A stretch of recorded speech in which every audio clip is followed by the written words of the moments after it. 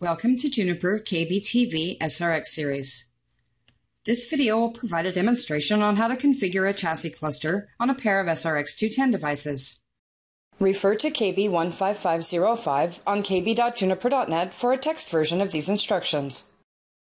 This video will provide an overview of cluster topology, identify cluster prerequisites, show interface and cabling guidelines, provide step-by-step Junos commands to configure the cluster, and use Junos commands to verify the cluster status. For details on clustering other SRX series models, refer to KB15505 on kb.juniper.net, which has links to other platforms. Here is the topology diagram for this configuration example. It is helpful to point out the interfaces that we will be configuring. The FE007 interface is always used for the control link when clustering SRX210 devices. This is system defined. The GE001 port will be used for the fabric or data link in our example because it is a gig port. This is user defined. The GE000 interfaces will be defined in the untrust zone and form redundancy interface reth 0.0. The FE002 interfaces will be defined in the trust zone and form redundancy interface reth 1.0. Prerequisites in the SRX configuration, any existing configuration associated with the interfaces that will be transformed into FXP0 for out-of-band management and FXP1 for the control link must be removed. For the SRX210, these interfaces are FE006 and FE007.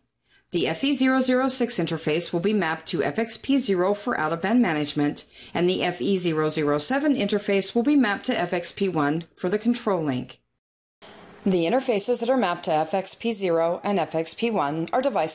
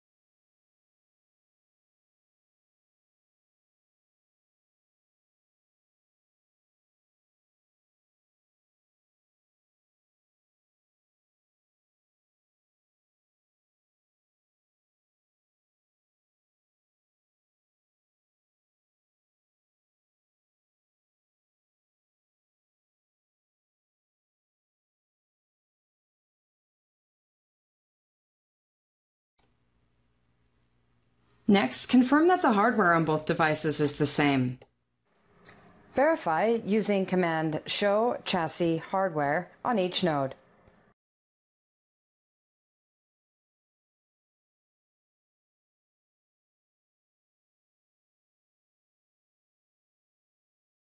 Next, confirm that the software on both standalone devices is the same Junos OS version.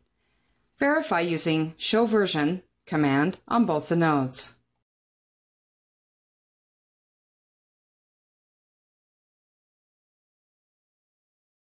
And last, confirm that the license keys are the same on both devices. There is not a separate license for chassis cluster, however, both firewalls must have the same identical features and license keys enabled or installed. Verify using Show System License command on both the nodes.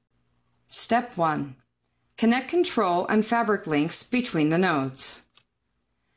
The control and fabric links are back-to-back connections between the devices forming the cluster. On the SRX210 device, the control link, or FXP1, is FE007. Connect FE007 on device A to FE007 on device B. The FE007 port on device B will be referred to as FE207 when clustering is enabled. For the fabric or data link, any open port can be used, but a gig port is recommended. Therefore, for this example, GE001 has been selected for the fablink since it is a gig port. Connect GE001 on device A to GE001 on device B. The GE001 port on device B will be referred to as GE201 when clustering is enabled. Step 2. Enable cluster mode and reboot the devices. Set the devices into cluster mode with the following command on each device and reboot the device. The cluster ID will be the same on both devices, but the node ID should be different. The device to be made primary should be rebooted first.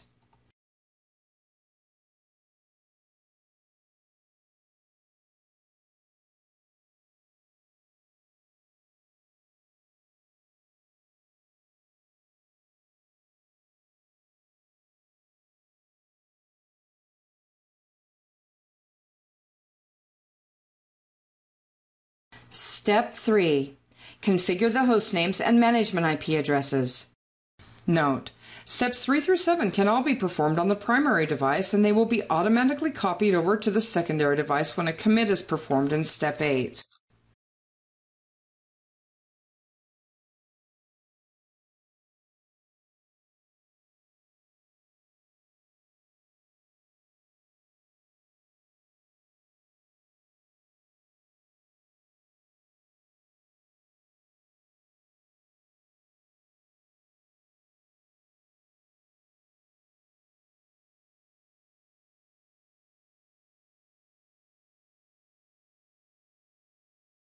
Note: The apply groups command is required so that the individual configs for each node is set.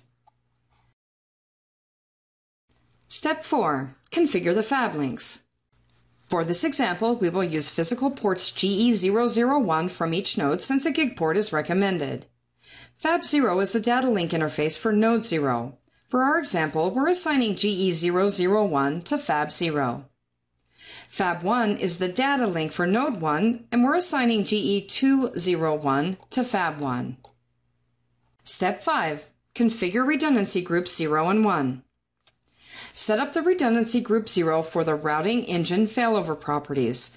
Also, set up redundancy group 1 to define the failover properties for the Reth interfaces. All revenue interfaces will be part of one redundancy group in this example.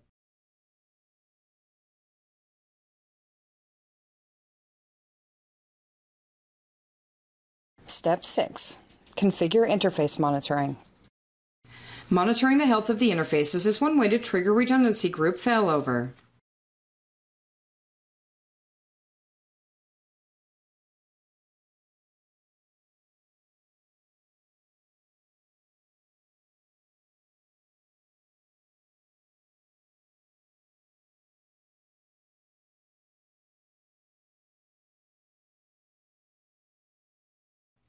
Step 7. Configure Reth interfaces. First, make sure that you set up your max number of redundant interfaces defined.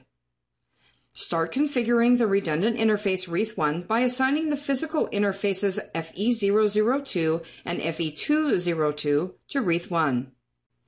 Next, we assign the reth1 interface to redundancy group 1. Then we assign an IP address to the reth1 interface. Now we configure the redundant interface reth0 by assigning the physical interfaces GE000 and GE200 to reth0. Then we assign the reth0 interface to redundancy group 1. And we assign an IP address to the reth0 interface.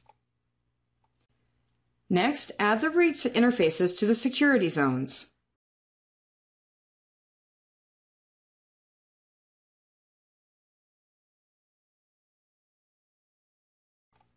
Step 8. Commit and the changes will be copied over to device B. This will prepare the basic clustering setting for both the devices.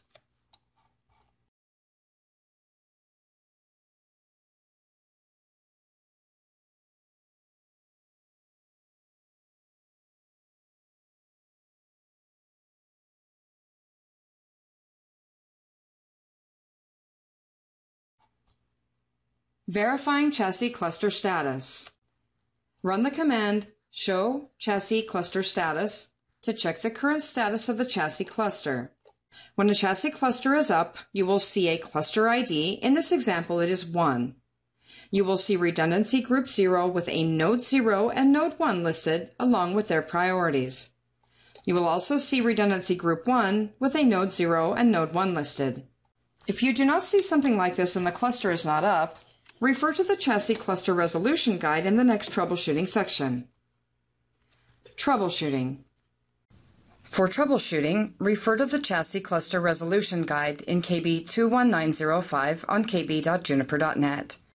It contains configuration and upgrade articles, as well as resolution guides and step-by-step troubleshooting for chassis cluster not up, chassis cluster not failing over, and can't manage chassis cluster. Refer to KB 15505 on kb.juniper.net for the text version of this video. Be sure to check out our other videos at www.juniper.net forward slash support forward slash video. If further assistance is needed, please visit our support site at www.juniper.net forward slash support. Thanks for watching.